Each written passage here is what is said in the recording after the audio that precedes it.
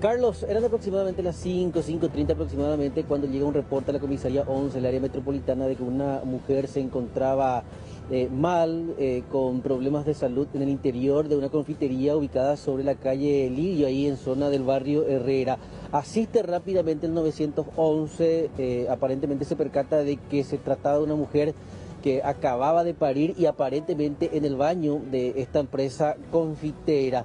Eh, algo ya llamó rápidamente la atención de los intervinientes, se comenzaron una rápida inspección, pasaron al fondo de este local y un tacho de aparentemente recipientes, una especie de basurero, encontraron a un bebé recién nacido completamente envuelto en cintas de embalaje. Ese recipiente es traído de manera urgente hasta el hospital de referencia, hablamos del barrio San Pablo, rápidamente se da entrada a la criatura, se percatan de que estaba mm, con vida y, ya rápidamente lo trasladan hasta terapia intensiva de este nosocomio, él presenta un buen estado de salud, sin embargo, en base al tiempo que estuvo expuesto al frío y con cintas, inclusive que pueden ser irritantes para su piel, se decide que eh, debe permanecer en terapia intensiva. Tiene poco más de 13 eh, kilos.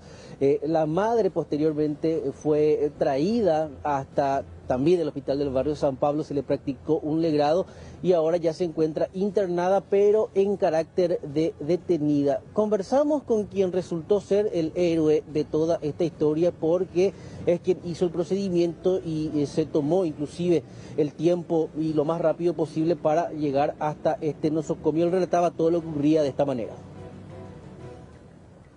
¿Cómo le encontraste? Eh, estaba envuelto en una bolsa polietileno dentro de un tacho. En el fondo de la casa. En que está allá enfrente, ahora sacó tu... Sí, exactamente, el color que está ahí en el, hospital, en la parte de urgencia. ¿A vos te llamaron, tomaste intervención o encontraste cómo fue eso? No, nosotros nos llamaron al sistema 911 referente a pedido de auxilio, que es una persona que tiene problemas de estado de salud. Una vez que nosotros llegamos al lugar, le encontramos a la señora, estaba sentada y le preguntamos si eh, ella tiene, no, ¿quién nos manifestó? Ella que tiene problemas, dolor de estómago y marea. Donde le procedimos a convocar la ambulancia inmediatamente en el lugar, mientras que nosotros estábamos guardando la presencia de ambulancia en el lugar. Eh, otro empleado que trabaja en el mismo lugar nos manifestó que una criatura recién nacida se encontraba en el fondo de la casa, dentro de un tacho por la que verificamos encontrar todavía la criatura con signo de vida, estaba llorando la criatura, estaba todo envuelta por cinta de embalaje, donde le cortamos la cinta, le alzamos la patrullera, le trasladamos inmediatamente al hospital materno infantil. ¿Y estaba dentro de la casa y la criatura en el fondo de la casa o en un patio contiguo? En, un... en el fondo de la casa. Eh, ¿Una habitación o ya en el tacho directo? En el tacho estaba la criatura. El tacho es de la casa entonces, un basurero. Eh, ¿qué, es esa casa? Es una casa donde funciona, donde confitería. Una confitería. Sí. ¿Y la, chica era funcionaria de la, Trabaja, la chica trabaja ahí como eh, ayudante de cocina.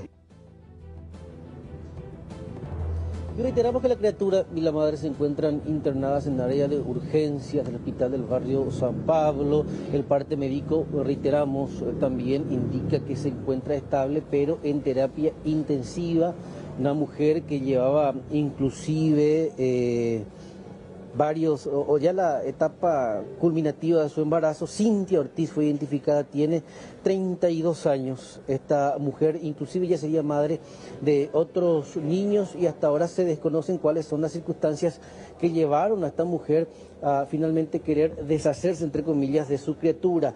Eh, con relación a la intervención y el protocolo establecido ya rápidamente, toma intervención el área social del barrio San Pablo, así también la asesoría jurídica y la mujer, además de ser ya pasible de una sanción fiscal, se encuentra eh, inclusive eh, bajo tratamiento médico y psiquiátrico.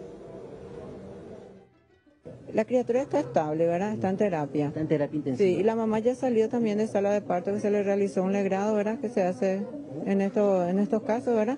y ahora voy a conversar con ella, justamente acompañado de un oficial. Eso ya es ya como una especie de, de asistencia jurídica y, y psiquiátrica, ¿no? Tras esta situación. Es- ¿Cuál es el procedimiento de rigor, los protocolos establecidos para este tipo de casos? Sí, la psicóloga está llegando. Se le hace un apoyo psicológico y ya hay intervención de la, de la barrial 2. ¿Cuántos años tendría la mujer? 32. 32. Esta sería su primera criatura, todavía. No, según lo poco que pude hablar con la doctora que le recibió, dijo que tiene ya otros hijos. Tiene ya otros. Ya tiene otros hijos, creo que un hijo menor de un año está teniendo, sí.